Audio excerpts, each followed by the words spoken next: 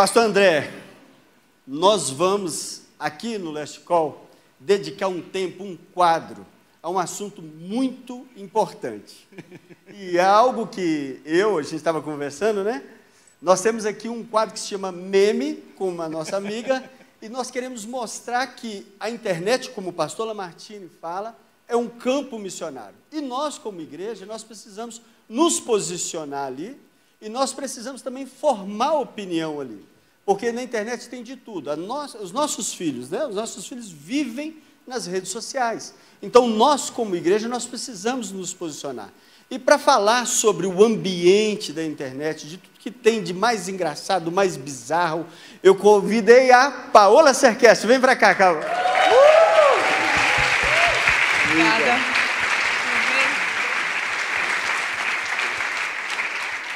Tudo bem, gente? Tudo Boa bem? Gente, a Paola, ela é, é uma influencer, é uma pessoa que, quando ela me contou tudo que ela faz, eu fiquei impressionado. Eu falei, olha, você tem que, a gente tem que te levar para o Last Call. Né, a Paola, ela é uma influência, ela tem que, os 600 500 mil mil, seguidores. 500 mil seguidores no TikTok, eu tenho quatro. Eu tenho quatro filhos, já tá bom demais para mim já. Eu, eu, Sabrina, João e Clara, mas é fantástico. E, e o que, que você trouxe para nós? Eu trouxe dois vídeos, mas o primeiro foi sobre uma live NPC, que começou sobre um Live. NPC. É tipo um Aquele- jogador. aquele pessoal assim? É, Ah, que tá. fica fazendo o mesmo movimento repetitivo. É o E fim aí- dos tempos mesmo, pastor Lamartine. A gente vai ver esse negócio. Você não está errado, não.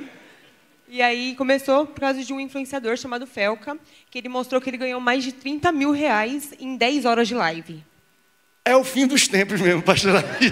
Vamos, tem, isso tem vídeo, não tem? Sim, sim. Vamos dar uma olhada nesse negócio de NPC. Olha só, gente.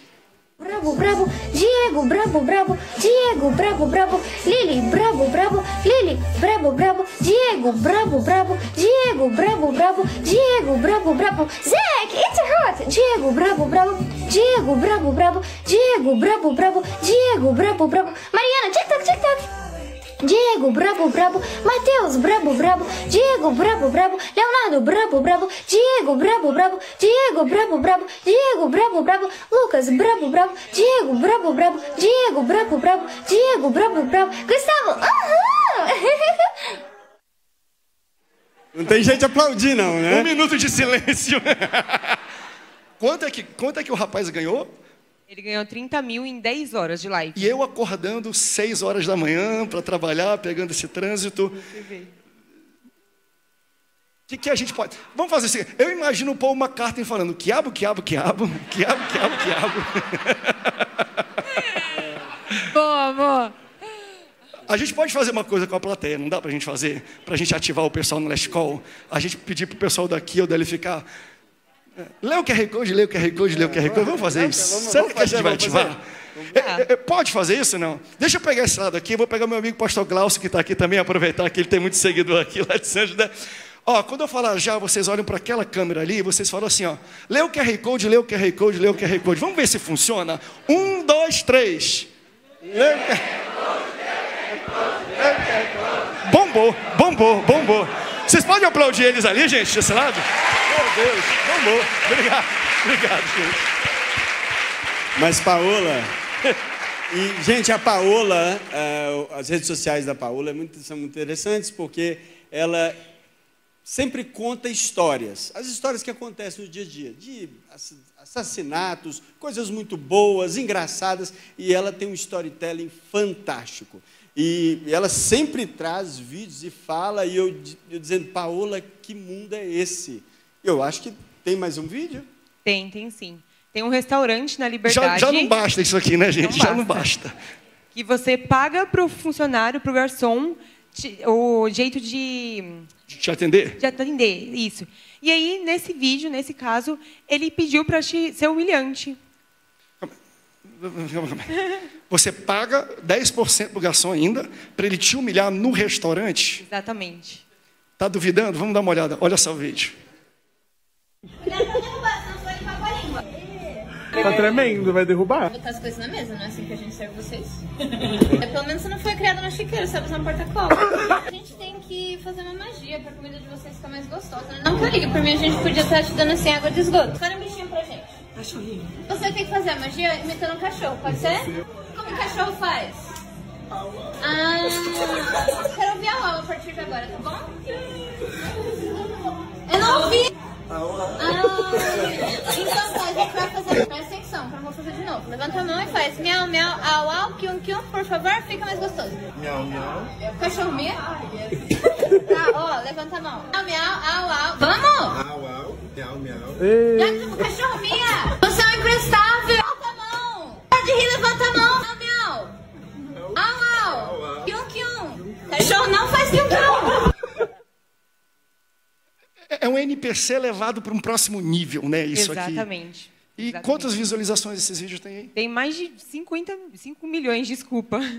5 milhões de visualizações Exatamente. que a pessoa paga para ser humilhada. Exatamente. Eu espero que o pastor não venha com uma revelação humilhante aí pra gente também, né? Já pensou se isso chega na igreja, hein, pastor? Hoje eu quero ir numa igreja, o pastor dê cajadada na cabeça. Eu vou lá e o pastor vai acabar com a gente. Imagina isso nas, nas empresas. Uau. Né, A gente estava falando de business as a mission aqui. É, Acho que não é uma boa, uma, uma boa referência né, para se aplicar, né, Breno?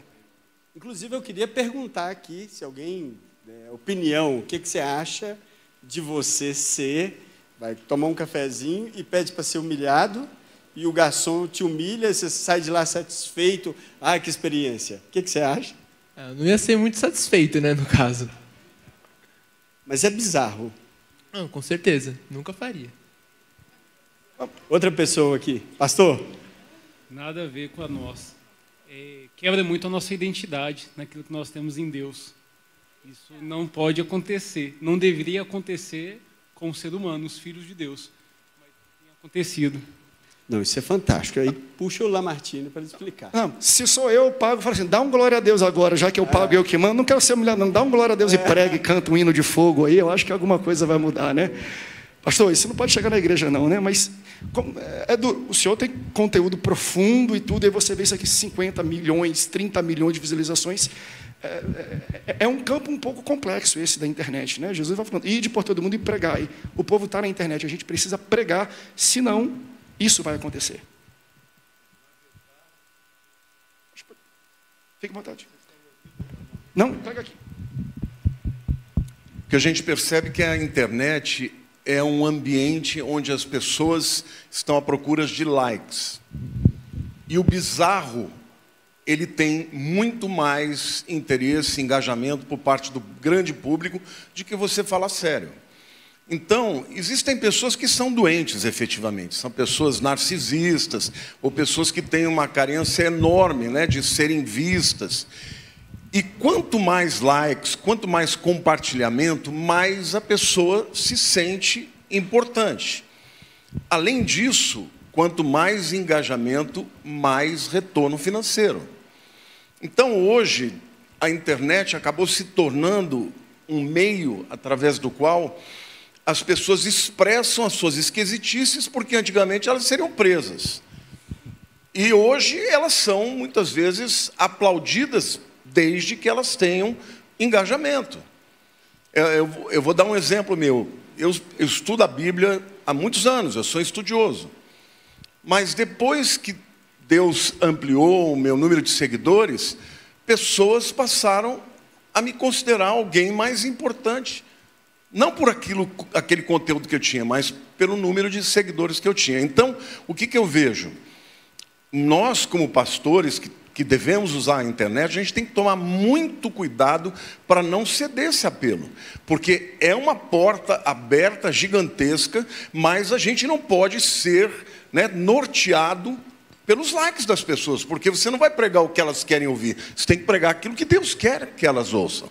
Então, eu sempre digo, a internet é o meio que Deus está usando para alcançar o mundo inteiro. Quando eu abro uma live, imediatamente tem 10, 20 nações ali. Mas eu tenho que sempre buscar Deus para pregar o evangelho puro. O meu chamado é falar de Cristo. Eu falo de Cristo e Deus tem levado a palavra longe. Né, pastor? Deixa eu atravessar a Macedônia aqui. Ah, Paola. Paola, muito obrigado. Ela volta ainda nas outras sessões para trazer volta. um pouco mais de meme e a gente entender. Um abraço. Obrigado, gente. Obrigado, Paola.